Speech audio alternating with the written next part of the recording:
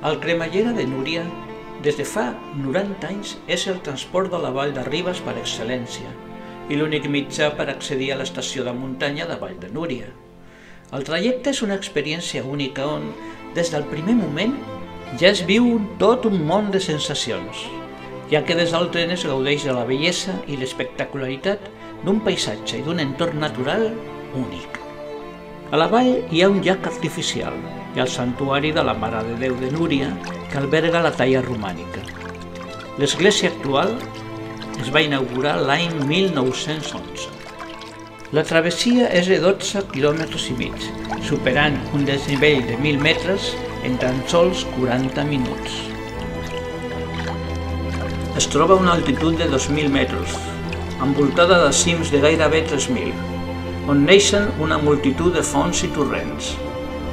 Per raó de la seva situació geogràfica i el clima, presenta una flora i una fauna característiques de la muntanya medioeuropea i de l'alta muntanya alpina. A més, hi viuen espècies vegetals i animals endèmiques dels Pirineus. El conjunt de totes aquestes altes valls constitueix una capçalera muntanyenca encerclada per una llarga i alta carena semicircular, que la tanca per l'est, el nord i l'oest, des del Puigmal fins al Torreneules, i dominen els boscos de roure, de pi roig i de pi negre. Però als vessants més alts només pot subsistir-hi el prat alpí. Aquí es va redactar l'any 1931 l'Estatut d'Autonomia de Catalunya, conegut com a l'Estatut de Núria, que va quedar ratificat a les urnes el 2 d'agost de 1931 i aprovat per les Corts Generals el 9 de setembre de 1932.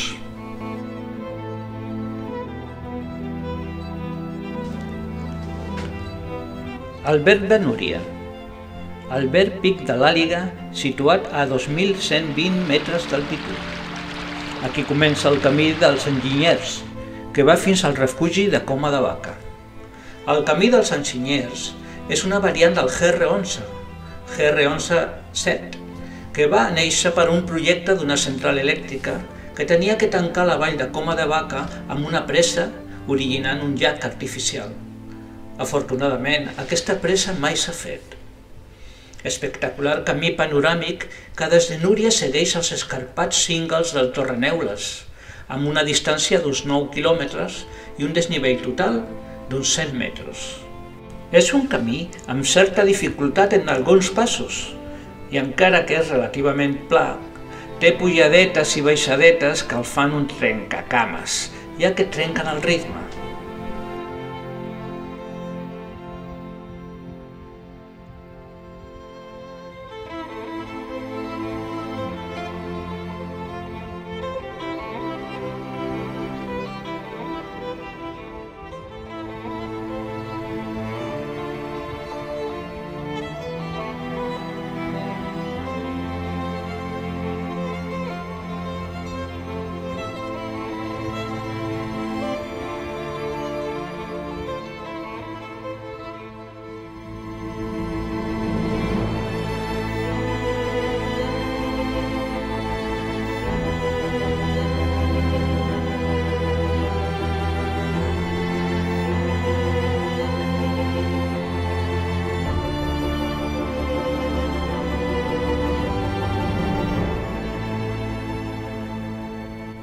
Queralbs, poble de muntanya de 1.200 metres d'altitud, té una església romànica de finals del segle X, que en el seu interior es conserva una còpia d'un retaule gòtic del segle XIV. L'original està en el Museu Mnac,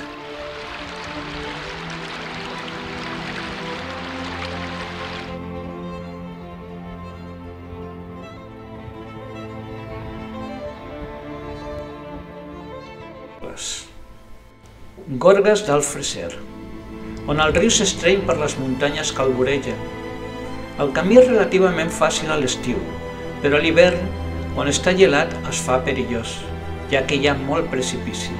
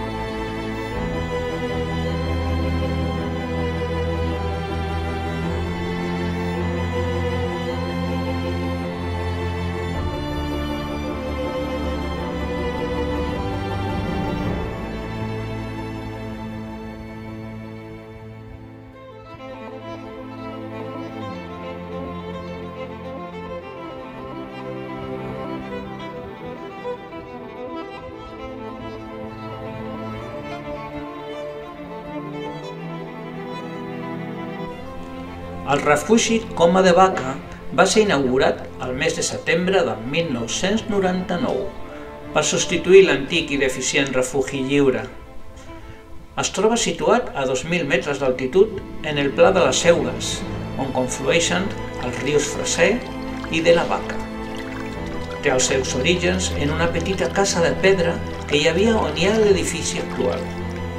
Aquesta casa va ser construïda per l'empresa hidroelèctrica FEXA als anys 50, per tal d'allullar-hi els treballadors que realitzaven l'estudi sobre la possible viabilitat de l'embassament al Pla de les Eugues.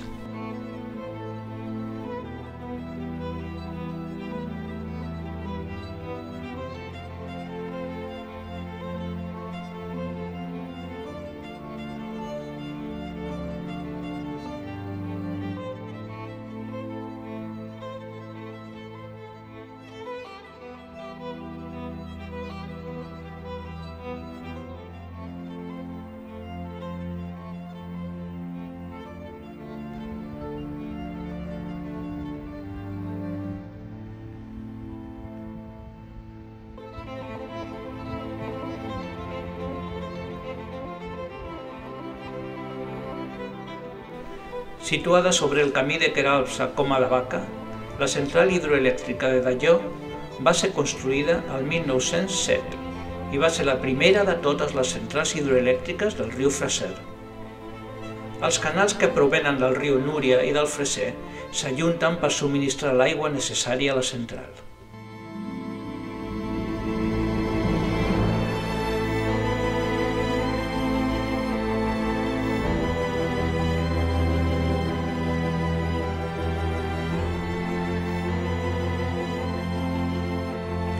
Queralt té una estació de ferrocarril cremallera que va de Ribes a Núria. A partir d'aquí, i degut a que comença la forta pendent cap a Núria, funciona com a cremallera, amb la roda dentada entre els dos rails. Fins aquí, des de Ribes, és un tren convencional d'amplada mètrica.